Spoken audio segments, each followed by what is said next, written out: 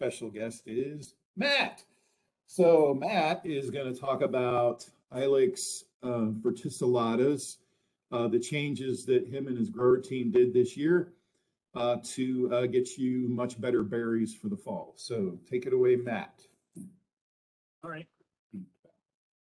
Okay, so I hope you guys are prepared and brought some pencils and papers because I just drank a lot of coffee. to talk to you about what's uh, been going on for us out here. So let's just kind of scroll through the pictures real quick. We got Goblin Orange. Uh, the next one on the picture is uh, Berry Poppins there. You kind of see a little bit of difference. The next one's Winter Red.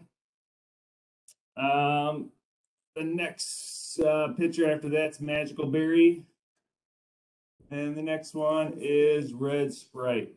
Okay, so we got a lot of different varieties of Ilex verticillata that we've been kind of conquering and trying to go about and trying to make them get a good berry set for you guys. So go back to the winter red and I'm going to show you guys what we've been kind of doing with that. Um, so if you go back to that picture, you can see what this plant tries to do out for us out here in this in this um, in the container area. What it tries to do is it just keeps growing and growing and growing. See all that uh, light green growth? That's growth that's been put on by this plant since um, maybe the end of July, beginning of August. So it's actually grown and stretched out since then. So what we were doing prior to that is we were um, taking some time and spraying it with a few different things just to try to get that berry set down in there so it didn't grow past um, what it was doing. So about 18 inches high, if you if you look at that ruler, that's where a lot of majority of the, the berries are. Okay, and if you go back to all the pictures, that's about right where all the berries are set at. And the reason why that is, the reason is because where they were trimming them, that's exactly right where the trim line was at. So you can see that on that berry poppins, 18 inches, that's right where the berries are at. Anything past that, you're not going to have any good berries. And the reason is because of the maturity of the wood. Okay, so once you have um, an immature wood, uh, you know, past the bloom time, because all that new growth is being pushed past when it does bloom, you're not going to have the berries. Okay. So that's something noteworthy to take to the customers. So what we try to do here is we try to make something stop and just stay at that 18 inches tall. So go back to that goblin orange. And what you're going to see there is something what we've been trying to do. And that is the berries are really, really close to the edge of that plant. Okay. And that's a lot more compact plant in, in nature, but we've made it stop. And that's because we were spraying it with a PGR growth regulator. And we finally figured out some tricks of what to do with that during the summertime. Okay. Now, there's some other tricks to getting this thing to bury the way it does, right? You need, you also need a, um, you need to make sure that the plant's not stressed out in the summertime and we we do that pretty well with keeping the fertigation going and the water going on it. Um, you got the um, you also need the male. That's uh that's something of course you need to do too. You need to have the the the male for it. You also need to make sure that nothing's eating the berries off of it, right? The uh, birds or whatnot. And then you also just need to make sure that um, it has some sunlight, which we obviously give it out here in the container area. Okay, so those those tricks are what's going to get you the good berry set.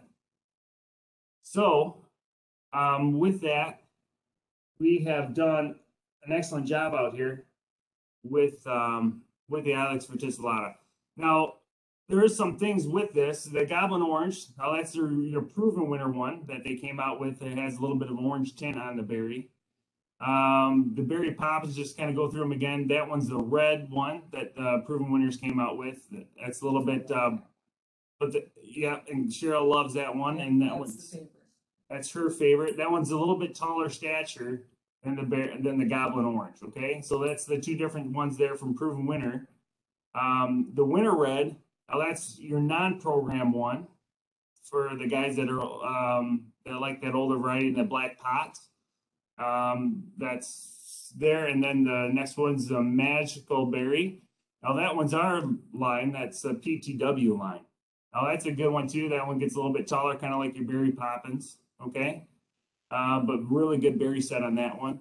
And the last one's the Red Sprite. Now that one's kind of a shorter stature one comparative to the winter red, right? So it's a non-program one that's um, a little bit shorter in sight and height to the winter red. So all of these, except for the winter red, um, can pollinate pretty easily with with a male that's um, that we grow. That male is um, the goblin orange or goblin Guy. goblin guy. Okay, so Goblin Guy can uh, cross pollinate with all those ones. Winter Red's a little different. Winter Red's going to need a Southern Gentleman. And there's another one that we grow, uh, Mr. Poppins. And that one can cross pollinate with all these as well, except for Winter Red. Winter Red's uh, a little different. That one needs a Southern Gentleman. Okay.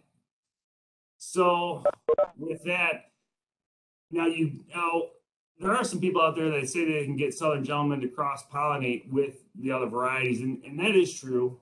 Um, it all depends on your spring though. Okay, so if you got a long, drawn out spring where things are blooming for long periods of time, you can get the Southern Gentlemen to cross pollinate with the other ones. But Proven Winners, they came out with a pretty good line, big, um, big marketing brand, right? They, you got a Goblin Orange, you got a Goblin Guy, you got Mr. Poppins, you got uh, Berry Poppins. So they, they try to make it in sync there just to try to make it easy for the customer to, to match up what uh, what the male is with the female. Uh, for us, Magical Berry, when we got that one, we, we don't really have a, a man to go with that. We don't have a um, um, a magical man. Okay, maybe we will. Maybe we'll have that in the in, uh, magical man's berries or something like that. I don't know. We'll have something on the line for that though. But um, but that one can be pollinated with the uh, goblin guy. Okay, so we have plenty of those in in the line.